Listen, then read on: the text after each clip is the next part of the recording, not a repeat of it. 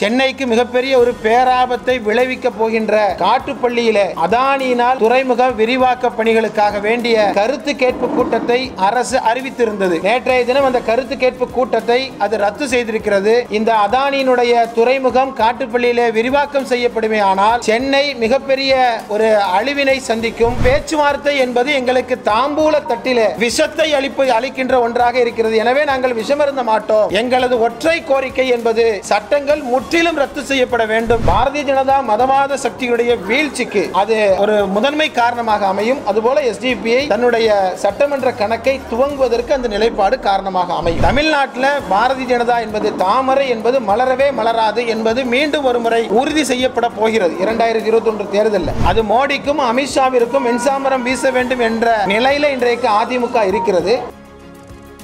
நமதே சேப்பாக்கும் நமது என்கின்ற தலைப்பில் இன்றைய தினம் சேப்பாக்கம் சட்டமன்ற தொகுதியினுடைய எஸ்டிபி கட்சியினுடைய செயல் வீரர்கள் ஆலோசனை கூட்டத்தை இன்றைய தினம் நாங்கள் நடத்தி கொண்டிருக்கிறோம். இதுபோல் தமிழகம் முழுவதும் ராமநாதபுரத்திலிருந்து தொடங்கி ஏறத்தாழ இரநூறு தொகுதிகளில் இதுபோல் நாங்கள் எங்களது செயல் வீரர்கள் கூட்டத்தை நாங்கள் திட்டமிட்டிருக்கிறோம். சட்டமன்ற தொகுதி அதுபோல் மாவட்ட மற்றும் மண்டல அளவிலான தேர்தல் பணிக்குழுக்களை அமைப்பது என்பதாக எஸ்டிபி கட்சியினுடைய மாநில நிர்வாக குழு முடிவு செய்திருக்கிறது.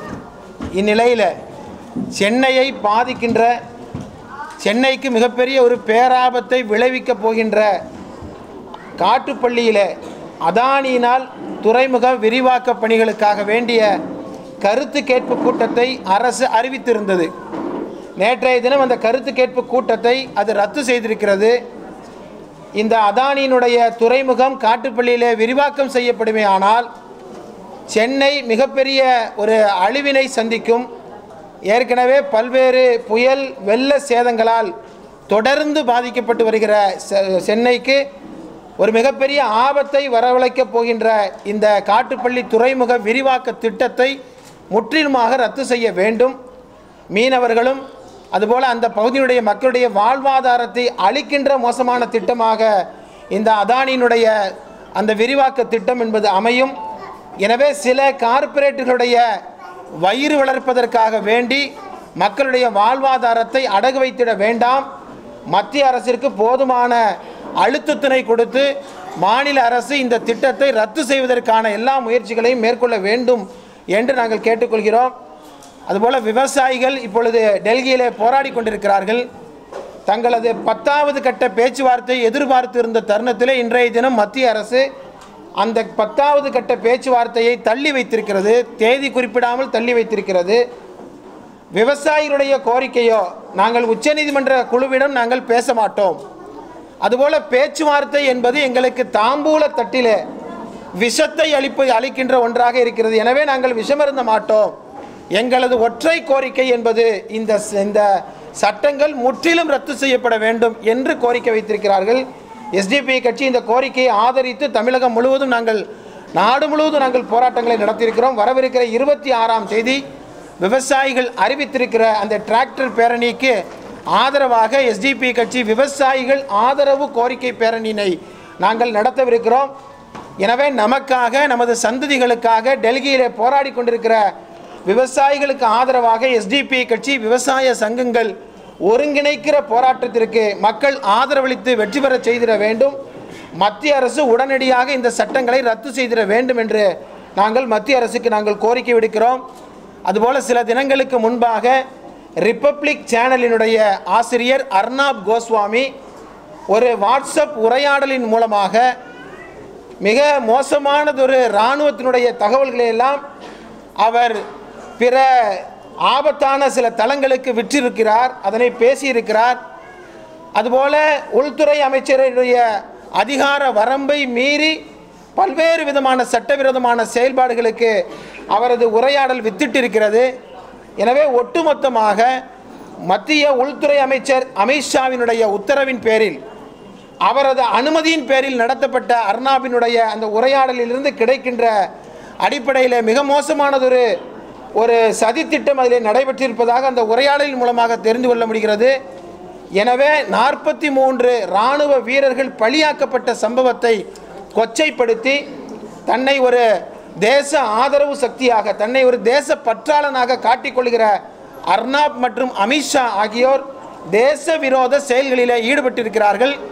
எனவே உடனடியாக அர்னாபின் மீது அர்னாப் கோஸ்வாமியின் மீது தேச பாதுகாப்பு சட்டத்தின் கீழ் நடவடிக்கை எடுத்திடவும் அதுபோல ரிப்பப்ளிக் சேனலை உடனடியாக தடை செய்திட வேண்டும் என்று எஸ்டிபி கட்சி இந்த கூட்டத்தின் மா- வாயிலாக மத்திய மாநில அரசுகளை கேட்டுக்கொள்கிறது. தான் எஸ்டிபியை பொறுத்தவரை நாங்கள் கடந்த தேர்தலில் முப்பத்தி ரெண்டு தொகுதிகளில் நாங்கள் போட்டியிட்டோம். தனித்து போட்டியிட்டோம். கடந்த தேர்தலில் ஒரு பாராளுமன்ற தொகுதியில் போட்டியிட்டோம். வரவிருக்கிற தேர்தலை பொறுத்தவரை எங்களது வாக்கு சதவீதத்தை அதிகரிக்க வேண்டிய தேவை இருக்கிறது.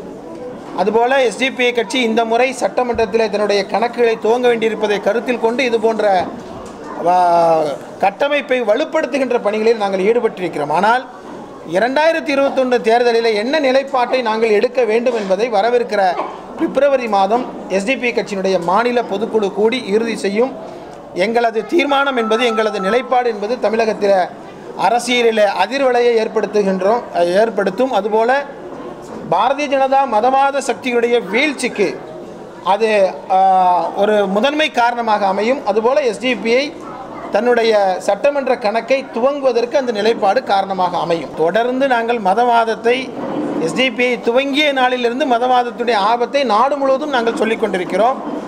எனவே மதவாதத்தினுடைய வீழ்ச்சிக்கு முதன்மை காரணமாக எஸ்டிபி அமையும். அதுபோல தேர்தல் அறிக்கை தயார் செய்வதற்காக வேண்டி எங்களது மாநில செயற்குழு உறுப்பினருடைய தலைமையிலே நாங்கள் ஒரு குழுவை அமைத்திருக்கிறோம். அந்த குழு இறுதி செய்கின்ற கோரிக்கையின் அடிப்படையில் தேர்தல் அறி அறிக்கையின் அடிப்படையில் நாங்கள் வரவிருக்கிற தேர்தலை நாங்கள் சந்திக்கும் பிஜேபியினுடைய கூட்டணி என்பது நாங்கள் தொடர்ந்து நாங்கள் சொல்லிட்டு வர்றோம். தமிழ்நாட்டில் பாரதிய ஜனதா என்பது தாமரை என்பது மலரவே மலராது என்பது மீண்டும் ஒரு முறை உறுதி செய்யப்பட போகிறது. இரண்டாயிரத்தி இருபத்தொன்று தேர்தலில். ஆனால் அவர்களோடு நண்பர்களாக தன்னை அடையாளப்படுத்திக் கொள்கிற அதிமுகவினுடைய நிலையும் நிலைமையும் அதுபோல மோசமாகி விடக்கூடாது என்று நாங்கள் தொடர்ந்து எச்சரித்து வருகிறோம். எனவே தமிழ்நாட்டில் எந்த அரசியல் கட்சியும் பாரதிய ஜனதாவோடு கூட்டணி வைக்கவில்லை என்கின்ற நிலையை ஏற்படுத்த வேண்டும். தமிழக அரசினுடைய செயல்பாடுகளை பொறுத்தவரை அது ஒன்றும் மக்களால் விரும்புகின்ற செயல்பாடுகளாக இல்லை. சில திட்டங்களை அவர்கள் அறிவித்திருந்தாலும் கூட மக்களுடைய எதிர்பார்ப்பு மதவாதத்திற்கு மதவாதம் தன்னுடைய முதுகிலே தோளிலே ஏறக்கூடிய அந்த நடவடிக்கையை தடுக்க வேண்டும் என்று மக்கள் விரும்புகிறார்கள். மத்திய பாரதிய ஜனதா அரசினுடைய விருப்பத்திற்கு இணங்க தமிழகத்துடைய அரசு செயல்படக்கூடாது என்று விரும்புகிறார்கள். ஆனால் தமிழக அரசினுடைய செயல்பாடுகள் அதுபோல இல்லை. எனவே தன்னுடைய நடவடிக்கைகளை தமிழக அரசு மாற்றிக்கொள்ள வேண்டிய அவசியம் தேவையும் இருக்கிறது. அதான் அது மிகப்பெரிய தவறு.